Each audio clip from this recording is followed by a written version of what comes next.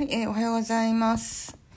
えっ、と、今日は、えー、ゼンタングル B ウェルバンドルの、というね、小さなこの紙に書いていって、まあ、自分の、えー、心をね、ちょっと落ち着けていきましょうというアメリカのメンタルヘルス啓発月間5月ですね。えーそれのイベント、ゼンタングルのイベントに取り組んでおります。はい。もう毎日説明してるんですけど。一応説明しますね。あの、ゼンタングルっていうアメリカの、で生まれたアートなんですけれども、そちらの、あの、創始者の方々、創始者の方々とそのファミリーたちが、えっ、と、無料のビデオ配信を行ってます。ゼンタングルの、えーこのマークの YouTube にアップされてます。無料の動画です。そして、えっ、と、言葉がない、あの、アメリカの、えっ、と、アートなんでね、英語なんですけど、いつもは。今回はあの、5月のそのビデオは、どの国の人でも楽しめるように、またはあの、音を、こう、出すことができない環境の人でも楽しめるように、あの、音声がありません。なんですけどね。えっと、なんで、あの、それ見ながら、それを見てくださったら別に書けるんですけど、なんとなく私も、こう、皆さんを励ますために、えー、毎日こう書き始めたらですね、ちょっと毎日になっちゃって、あと、そう、もう今日19日目で、明日、明後日で終わりなんですね。すごいですね。はいというわけで、えーっとね、ぜあのーその無無言のビデオとは別に、あの、ニュースレターというのが来てまして、毎日。今日のテーマはこれだよ、とか、あの、そういうニュースレター来ています。はい。あゆふさん、毎日ありがとうございます。こちらこそ、毎日ありがとうございます。で、えー今日の、でこそ、この言葉もね、1日1個、あの、発表されていますが、The strings, the thing ね、どういう意味でしょう？ストリングっていうのは、あの、全単語で言うところのこの鉛筆の線のことですね。そして、the thing。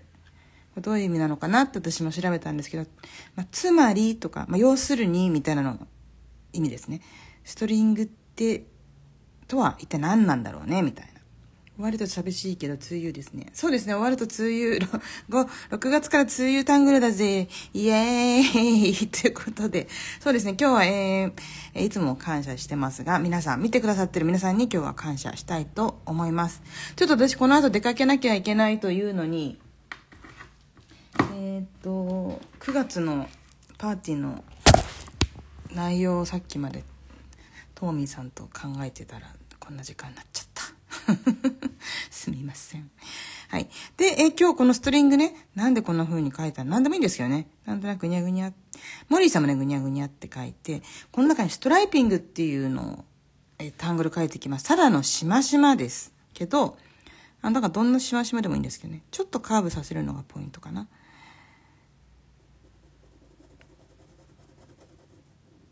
はい。こんな感じで。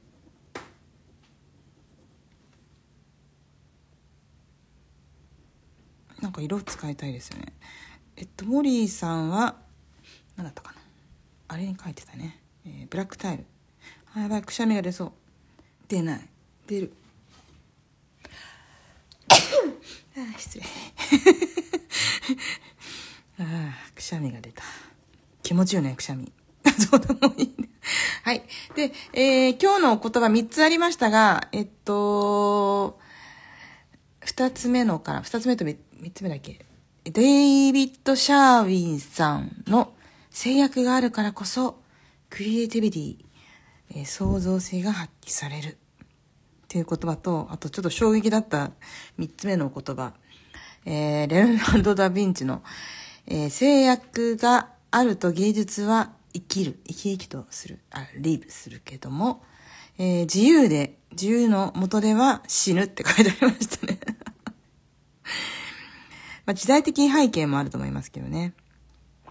そのことはちょっと後でお話ししましょう。えー、その後に、えー文章が今日のニュースレター始まってますけれども、私ごめんなさい、あっちこっち書いてますけど、ちょっとカラー使いたいので、あっちこっちと。まず、ジェティーズみたいな感じにしようかなと思って。えー、まず、そうですね。真っ白な紙を誰かが誰かに手渡して、これになんか書いてっていう、そんなシナリオ、そんなシーンを思い浮かべてください。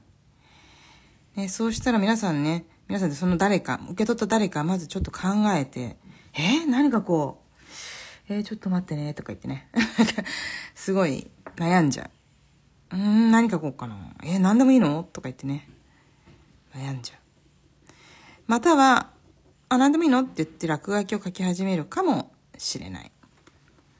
自由に書くということは、とても理想的、アートにとってとても理想的なスタイルな気がするんだけども、え実はね、ちょっと難しい場合もある。そして、えー、それがちょっとストレスにね、感じることもあるんだよって書いてありましたね。うーん、そうなのってね。えー、しかし、えー、構造やガイドラインがあると、クリエイティビティは開花して、えー、そして芸術は勢いを増す。芸術性が勢いを増す。ですって。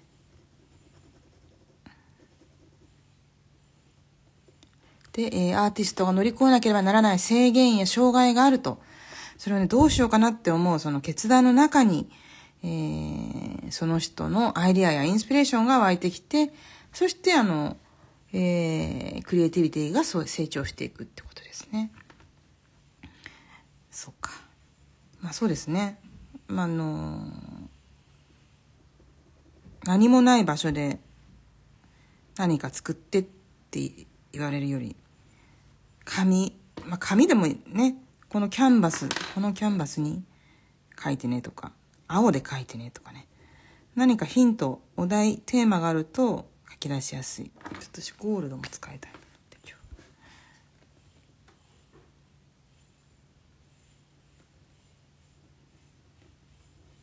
どうですか？皆さん制限があった方がいいですか、まあ、紙の大きさは、ね、こう決まってこう制限があると書きやすいですよね。確かにね。これがすごく終わりのない果てしのない紙を目の前に置かれて「はい書いて」って言われたら うわーこれ埋めるの全部みたいな感じはする。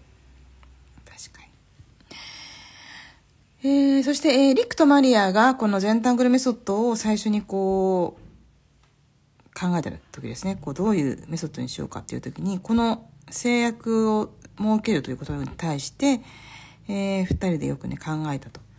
そしてこのメソッドにね、組み組み入れましょうというふうに、えー、なったんですね。で、それがまずあの、最近やってませんけど、コーナードットっていうのをね、まずやって、ボーダーを作って、で、そしてストリングを書くっていう。でもここ何日かはあのストリングだけで始めてましたけども、まあ、その儀式があります。8ステップの中の最初の、えー、2、3、4でその制限を作ります。まあ、間に合った。今から休憩です。ミキ姫さん。あ、そうなんですね。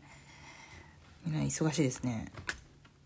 コーナードットボーダーストリングで作者に、ん作業に制限を与える儀式を入れましょうということですね。で、うーん、字が汚くて私の自分の読めないあ、疲れんでもいい。ガイドライン、あ、使わなくてもいいだね。はい。で、その、私たちが用意したガイドラインを使わなくても別にいいんですよ。で、ま、また全然違うことしたって構いませんよ。でも、これがなくてもいいんだけども、あることによって、書き始めるきっかけになる、その芸術の出発点を作ることになるんだよっていうね、ことですね。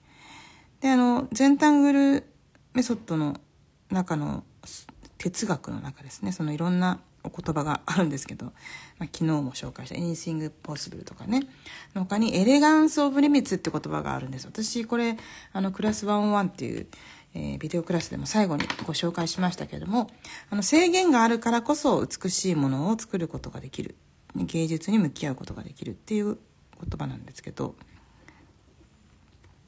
ね、あの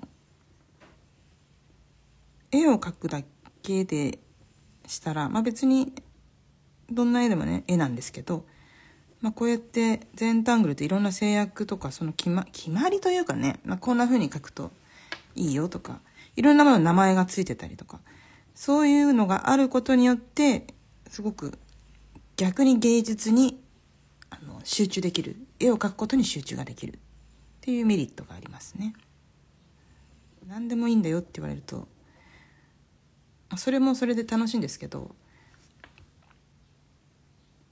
ある程度こう制約、まあ、ステップなどがあると書き出しやすくて書くことに美しいものを作ろうというその行為に集中できますよね。というわけでね、あの、制約を設けてます全タングルは。でもその制約をどう使うかはもう皆さん次第。紙がちっちゃすぎるって思ったらね、どんどん継ぎ足して大きくしたって全然いいですし、私はこのストリング書いたけど、これは無視したいと思ったら無視してもいいです。楽しいな、これ。なんだか知らないけど。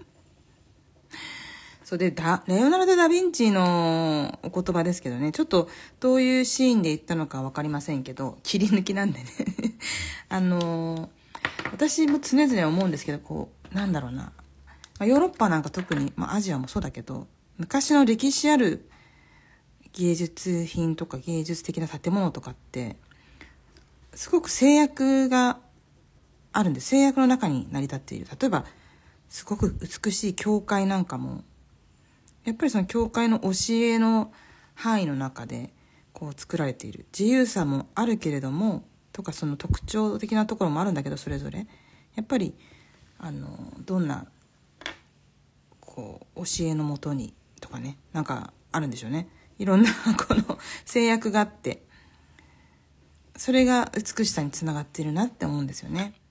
なんで何でもいいからこう建物を建ててではなくて、そこに、それ何のために建てるのかとか、なんか、テーマは何なのか、誰が住むのか、何に使われるのかっていう、こう、ので、細かくこう制約があった方が、じゃあその中で、どういうふうに美しさを与えようかっていう、そのクリエイターのこう技量が出てくるっていうか、あの、それをどう料理するか、みたいな、そんなふうに思います。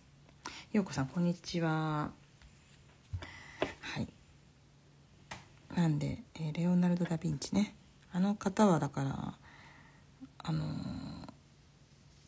ダ・ヴィンチは最後の晩餐とか書いたんでしたかね。彼はいろんなことをしてますけどあとあれか。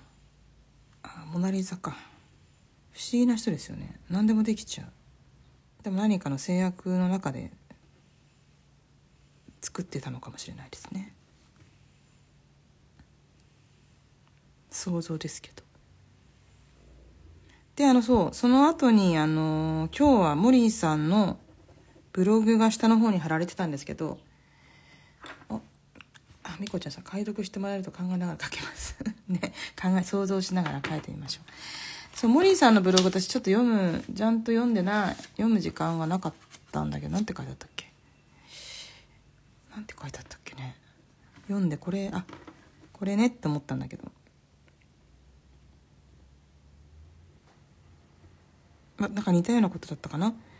その真っ白な紙の前だと緊張しちゃうしなんか始めることが難しいけどそういう、えー、ガイド制約があると書き出しやすい。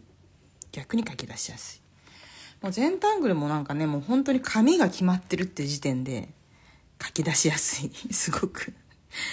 まあ選ぶ何色の紙使おうかなとかっていうのはありますけど、あとお道具どうしよう。でも道具も、まあ、大体こう、お気に入りの道具っていうのが、皆さんだんだん出てくると思うんでね。まあ、これそれで、とりあえずその目の前にあるそれを手手にして書いていくといいですね。このストライピングは楽しいタングルですね 自分でこのこのストリングがあることでこの中にこうねストリングの中にも書いてますけどもしもこれが今皆さん書いててちょっと窮屈だとか感じたりした場合はもう飛び出してもいいんですよ。飛び出してみましょうか？飛び出してみましょうか？飛び出してみれるのかしら？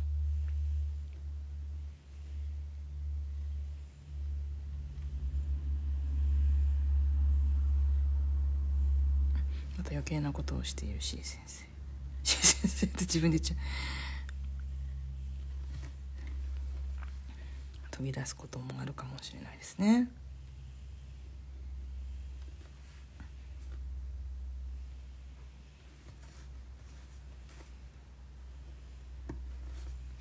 ゴールドペン。ゴールドペンがちょっと最近お気に入りなんです。気に入りなんですとか言って。ゴールドメタリックねすごくいい色たっぷり出るし。飛び出すの怖い。ね怖かったら飛び出さなくてもいいんです。でもなんかそのストリングをこうなんていうのかな。ボーダーとかストリングをこう、まあ、紐っていう意味なんですけども縄跳びの縄みたいな感じになぞらえて何もないところで飛ぶよりもこう縄跳びがあった方が飛びやすいよね。柵があった方が向こう側に行きやすいよね。ここからここジャンプしてみようかなって思う。普通だったらそこ何もなければ歩くんだけど歩いて向こう側に行くけど柵があったらピョンって飛び越えるでしょ？っていうね。そのアクションがこう自分がやるかどうかみたいな、ね、飛び出し方が美しい。あらありがとうございます。褒められちゃった。嬉しい、ね、はい。こんな感じで。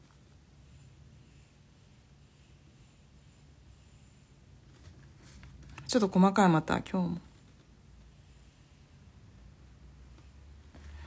はい。シェーディングあここ塗ってなかった。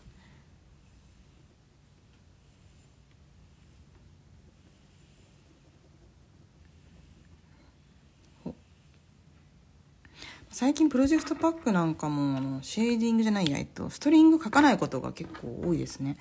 私はねあのボーダーコーナードットとかボーダーとかの私鉛筆の線が結構好きなんであの入れます。入れることが多いですけどまあどっちでもいいかなみたいな、まあ、8ステップには書いてありますけど今日は気分じゃないって時はやらなくても。大丈夫です。え C 先生バージョンを1枚の紙に書こうと。C 先生バージョンを1枚の紙に書く。うん。ぜひ。書いてください。考え中です。はい。うんうんうん。考え中。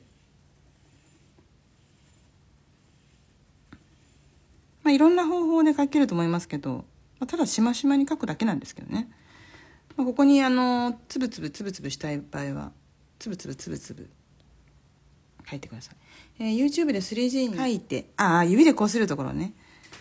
そうなんかね指でこすってます。ねマリアさんとかも結構ゴシゴシ。こすってて最近。なんかあれ？達筆は？って感じだけど。でもね昔は達筆なくて。でモリーが教えてくれてなんかなんて便利なあの魔法の杖ねとか言って言ってましたけど、ね、最初はねなかったみたいですね全タングル。一番最初の方は、はい、でもあの達筆があった方がやりやすいよね。私も初めて知ったんですよ全タングルで。なんかデッデッサンとかそのやる方その受験の時とか美大の受験の時にもうすでに使ってたっていう人もねいたり。あと水彩絵の具水彩画とかやる人は知ってたりとか。へえ私知らなかった。便利。えー、初めて書いた時先の尖ったメイク用綿棒でやってました。あそうですね。それでもいいと思います。綿棒でも全然いいですよ。なんか私のいけてない達筆だらけで。今日こそ新しいやつを。出そうかしら。ね達筆で持ち歩くとこうなんかなんていうのかね箱とか袋の中でこう先が当たってどんどんどんどん短くなっていっちゃうんですよね。なんで達筆用のキャップをしたらいいのかな。えー、つきたくないところにもつきそうですよね。ああ指でやるとねってことかなそうですね。アメリカンデッサンのクラスで交わされましたようこそあそうなんですね。私知らなかった。それこそ、まあ、こんなちっちゃな紙じゃないんでねあのデッサン。指でやってましたね。指でこうやってやってた。あとはこの手の強弱でこう影をつけるっていう方法でやってましたねその。受験の時は。えー、キャップしてます。鉛筆のやつで。あそうなんですね。殺筆はいつ買えますか？もったいなくて捨てられない。まだ2本ぐらいです。あそうなんですね。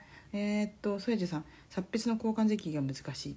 ジップロックちっちゃいのに入れて持ち歩いている。キムキムさん。私もキャップしてます。右姫さん。えー、皆さんちゃんと大事に使ってて偉いですね。えー、っとそうですね。そうだな。私の一番最も尖ってるのでこんなで本当はもっとピシッと尖ったやつでやりたいんだけど使っててなんか使いづらいなと思ったら 増やしてください。あの捨てなくて全然いいですよ。私殺筆村って言ってどんどんあの住人が増え殺筆くんたちが増えていってあの村を形成してるんですけどちょっとこうエースが欲しいなっていう時にあの足してあげてください。どうかな？ちょっとモリモリしてる？モリモリしてないあんまり。で終着をもちょっと。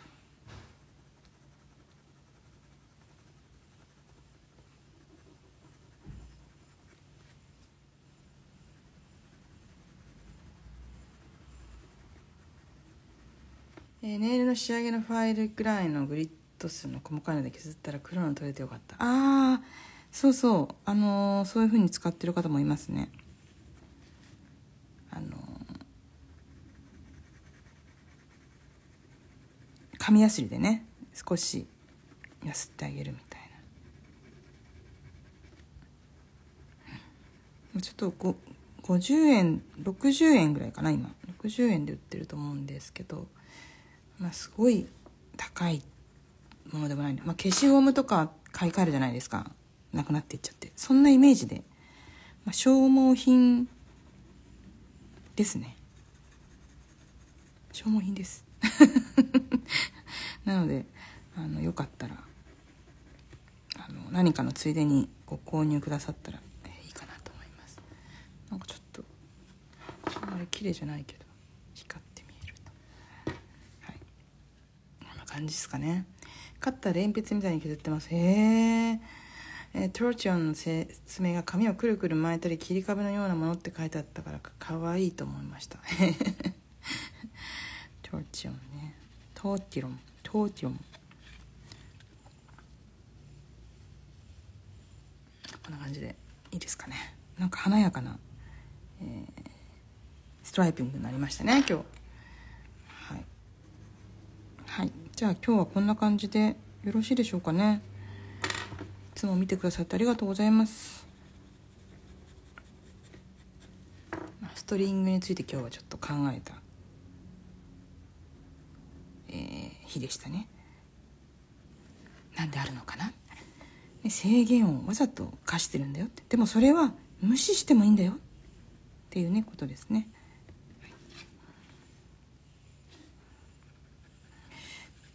ストライピングね、ちょっと永遠にやっちゃうんだけど。楽しんで書いてください。ミッキーメさんいつも楽しみにしてます。こちらこそありがとうございます。この中にサインしようと思ったらちょっとちっちゃくてできなかったっていうね。